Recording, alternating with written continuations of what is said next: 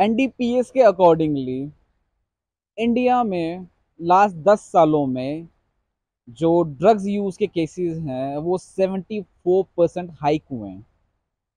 अब इमेजिन कर लीजिए, ये तो वो केसेस है ना, ये तो उन केसेस का सर्वे है जो रजिस्टर हुए हैं। उन केसेस का क्या, जो कभी नोन में ही किसी के नहीं आए। पिछले कुछ टाइम से हम लोग ऐसा देख रहे हैं कि ड्रग्स का कंजम्पशन ड्रग्स की अवेलेबिलिटी और यंगर जनरेशन जो ड्रग्स में इन्वॉल्व हो रही है, हमारी सिटी में, ये तो एक्स्ट्रा एक तो चेंज बहुत प्रोमिनेंटली हमें नज़र आ रहा है, जो कि पिछले कुछ साल पहले तक ऐसा नहीं था। कुछ हार्डर ड्रग्स जो कि पहले अवेलेबल नहीं थे, अब वो अवेलेबल होना शुरू हुए हैं। कुछ हार्डर ड्रग्स जो कि बहुत यंग एज में लोग कंज्यूम नहीं कर रहे थे, अभी तक तो स्कूल के कुछ बच्चे हैं, वो भी कंज्यूम कर रहे हैं। तो ऐसा हम लोग देख रहे हैं, किसी भी तरीके से ड्रग्स की अवेलेबिलिटी अब बढ़ती जा रही है। हमारे पास जो, पिछले बहुत सालों से हम काम कर रहे हैं, सिविल लोगों के लिए भी और पुलिस के लोगों से भी, जो भी नशे से जूझ रहे हैं।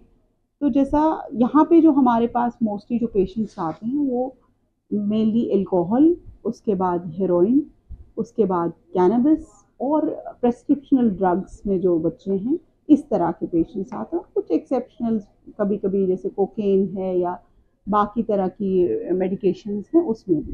क्योंकि जैसा आप जानते हैं कि जब वो इसे चेज करते हैं तो अमाउंट ऑफ़ द ड्रग जो है वो थोड़ा सा ज़्यादा ज़रूरत पड़ता है।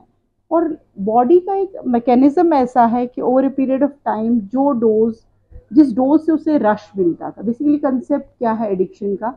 हमारे ब्रेन में एक रिवॉर्ड सेंटर होता है, जहाँ पे एक वो फीलिंग ऑफ़ वाव या जो रश वो फील करता है। और वो रश हम बहुत सी नेचुरल चीज़ों से भी फील करते हैं। अच्छा खाना, हमारा घूमना रोलर कोस्टर्स और बहुत सी सारी चीज़ें। लेकिन जिस लेवल का रश या जो वो डोपामिन सर्ज इन ड्रग्स से मिलती है, उस लेवल का रश और किसी चीज़ से नहीं होता। और जब पेशेंट एक बार वो हाई लेवल ऑफ़ जो रिवॉर्ड सीकिंग जो उसका वो होता है ड्रग से एक्सपीरियंस करता है तो उसके बाद उसे दूसरी चीज़ों में कोई मज़ा नहीं आता। है शूटिंग के दौरान ही कुछ वहाँ पे ऐसे लोग थे, जो खुद को नशे से दूर करना चाहते थे। ये जम्मू कश्मीर पुलिस का एक कांस्टेबल था। जिसने जाने अनजाने में नशे को अपनी ज़िंदगी में इतना गहरा उतार लिया था कि बस वो अब उससे परेशान होकर उससे निकलना चाहता था। इतना उस चीज़ का आदि हो गया था।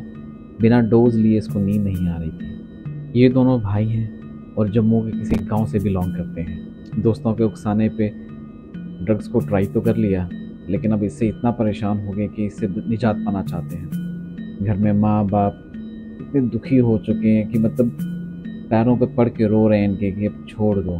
यहाँ तक इतने मजबूर ये हो चुके हैं ड्रग्स के कि ये भी चोरी भी कर रहे हैं, लूटपाट भी कर रहे हैं। ऐसी ऐसी हद तक पहुँच गई है कि ये अब उसको अगर ना ले एक दिन तो बर्दाश्त नहीं कर पा रहे और आप यकीन माने, इनका हर दिन का खर्चा ड्रग्स पे तकरीबन पाँच हज़ार के करीब है। और ये लोग अब इतने कंफर्टेबल हो चुके हैं, इतने आदि हो चुके हैं कि ये लोग एक दूसरे के ना इंजेक्शन यूज़ कर रहे हैं।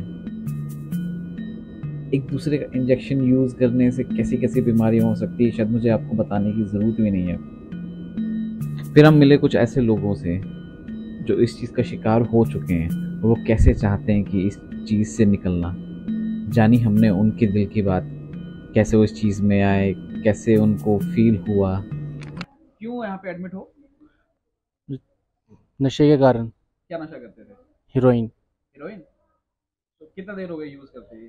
थ्री इयर्स कैसे लत कैसे पड़ी? इसकी शुरुआत कैसे हुई? शुरुआत संगत यार दोस्त। मतलब पहला पहला याद है? पहला कब किया था? फ़र्स्ट टाइम किया था टू थाउज़ेंड दो हज़ार बीस जनवरी मंथ एक्चुअल में दोस्त के साथ था तो दोस्त ने फोर्स किया था। अपनी मर्ज़ी नहीं थी खुद की मर्ज़ी नहीं थी करने की लेकिन दोस्त ने फोर्स किया तो कहता मज़ा आएगा लगा ले तो उस लगा लिया एक बार. फ़र्स्ट टाइम का? हाँ। हाँ, हाँ। कैसा लगा? बहुत अच्छा फील हुआ था मतलब एक होता है ना देर नशा रहा? फ़र्स्ट टाइम रहा था वही सात से आठ घंटे नशे में था।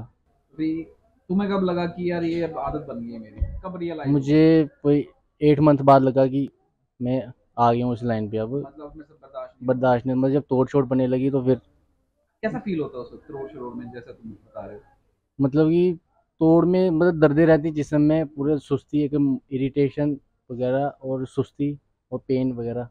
अच्छा मतलब जैसे अगर नहीं मिलता था तो ऐसा होता था कि पैसा चाहिए चोरी कर लो या मतलब गलत से गलत काम कहते कि हाँ हाँ मतलब गलत काम तो चोरी तो नहीं किया लेकिन यह है कि घर वालों के साथ लड़ाई झगड़ा मतलब पैसे दो गर्लफ्रेंड वगैरह तो बस फिर आहिस्ता आहिस्ता आहिस्ता ऐसे ऐसे। पहले तो दोस्तों ने फ्री में छः सात महीने फ्री मरवाया तो उसके बाद फिर जब लगा कि अब लग गया नशे में तो फिर खुद के पैसों से करना पड़ा। कितना पैसा लगता था एक महीने का?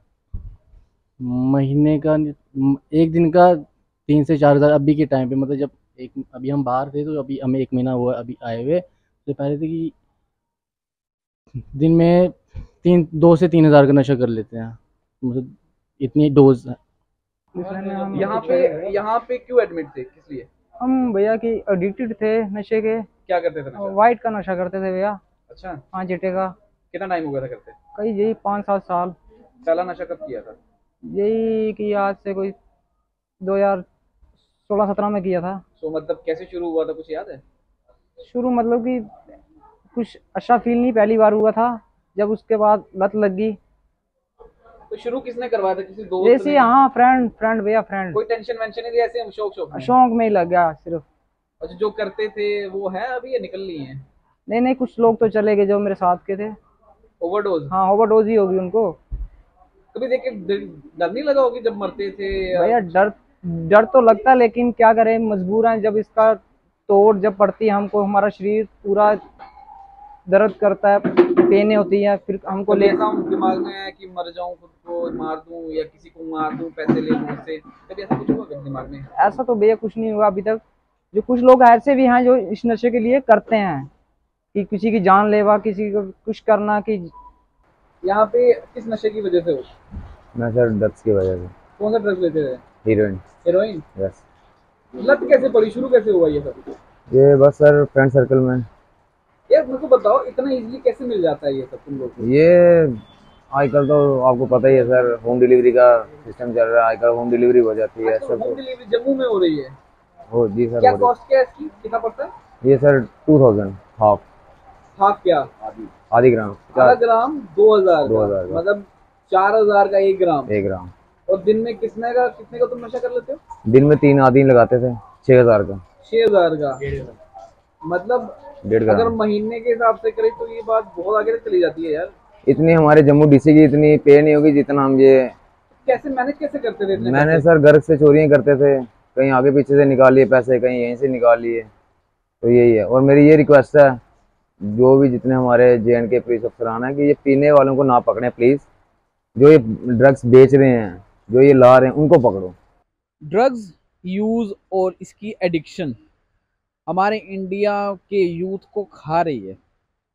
मतलब यार, आप लगा लो, अगर एक सोसाइटी में दस घर है ना तो दस घर में से तीन घर में कोई ना कोई आपको किसी ना किसी ड्रग्स का शिकार दिख जाएगा, चाहे वो अल्कोहल हो, चाहे वो सिगरेट्स निकोटीन्स हो, चाहे वो जो ओपियम चट्टा, ऐसी जितने भी ड्रग्स रिलेटेड चीज़ें हैं, वो सब कहीं ना कहीं किसी ना किसी प्रकार से आपको भैया एडिक्टेड दिख ही जाएँगे।